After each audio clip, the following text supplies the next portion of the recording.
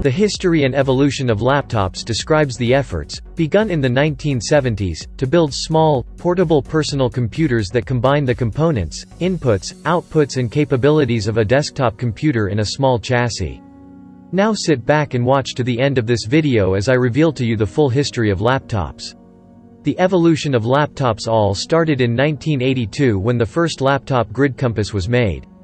The first laptop in the modern form was the 16-bit Grid Compass 1101, designed by Bill Moggridge. Enclosed in a magnesium case, it introduced the now familiar clamshell design, in which the flat display folded shut against the keyboard.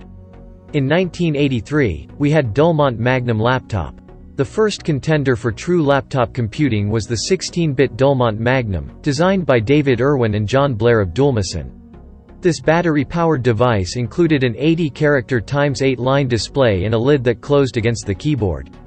Later on in 1984, Sharp and Gavilan laptops were made. The Gavilan was notably the first computer to be marketed as a laptop. It was equipped with an internal floppy disk drive and a pioneering touchpad-like pointing device, installed on a panel above the keyboard. Like the Grid Compass, the Gavilan and the Sharp were housed in clamshell cases. In 1985, Bondwell 2 was made. Bondwell 2 used an 8-bit Z80 CPU running at 4 MHz, had 64 KBs of RAM, and a 3.5 floppy disk drive built in, which was unusual for CP/M laptops. The flip-up LCD display's resolution was 640 by 200 pixels. Still in 1985, Kaypro 2000 was invented. Possibly the first commercial IBM-compatible laptop was the 8 16-bit Kaypro 2000, introduced in 1985. With its brushed aluminum clamshell case, it was remarkably similar in design to modern laptops. It featured a 25-line by 80-character LCD, a detachable keyboard, and a pop-up 90mm floppy drive. In 1985, Toshiba launched the 8 16-bit Toshiba T1100 in 1985, and has subsequently described it as the world's first mass-market laptop computer. It did not have a hard drive, and ran entirely from floppy disks. The CPU was a 4.77 MHz Intel 80C88. It was followed in 1987 by the T1000 and T1200. In 1986, IBM PC Convertible was introduced. Also among the first commercial IBM-compatible laptops was the 8 16-bit IBM PC Convertible, introduced in 1986. It had a CGA-compatible LCD and two floppy drives. It weighed 13 pounds which is 5.9 kg. In 1987, ZDS Supersport was invented. The first laptops successful on a large scale came in large part due to a request for proposal by the U.S. Air Force in 1987. This contract would eventually lead to the purchase of over 200,000 laptops. Competition to supply this contract was fierce in the major PC companies of the time. In 1987, HP released a portable version of their 16-bit Vectra CS computer. It had the classic laptop configuration, keyboard and monitor closes up clamshell style, however, it was very heavy and fairly large. It had a full-size keyboard and a large amber LCD screen. In 1988, we had Cambridge Z88. Another notable computer was the 8-bit Cambridge Z88, designed by Clive Sinclair, introduced in 1988. About the size of an A4 sheet of paper as well, it ran on standard batteries, and contained basic spreadsheet, word processing, and communications programs.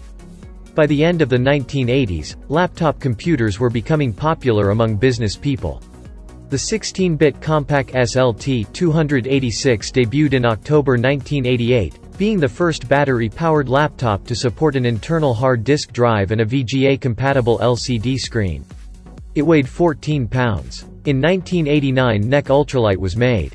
The NEC Ultralight, released in mid-1989, was perhaps the first notebook computer, weighing just 2 kilograms, which was achieved by obviating floppy or hard drive. It was powered by the NEC V30 16-bit CPU. The very restrictive 2 MB RAM drive cramped the product's utility. In September 1989, Apple Macintosh Portable was invented. Apple's first laptop product was the 16-bit lead-acid battery-powered 7.2 kg Macintosh Portable released in September 1989. The Portable pioneered inclusion of a pointing device, a trackball, in the laptop sphere.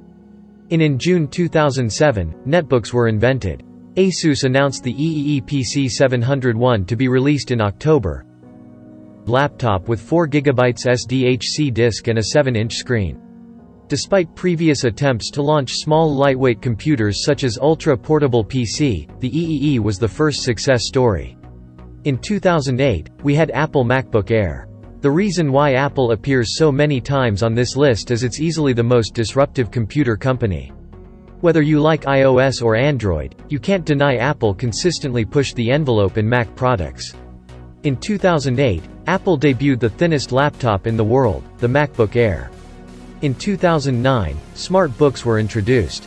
In 2009, Qualcomm introduced a new term smart book, which stands for a hybrid device between smartphone and laptop. In 2012, Microsoft Surface was made. After companies experimented for years, the Surface was one of the first to get the tablet and laptop combination right. Often considered a tablet more than a laptop, it still technically functions as a laptop with an adjustable kickstand and keyboard.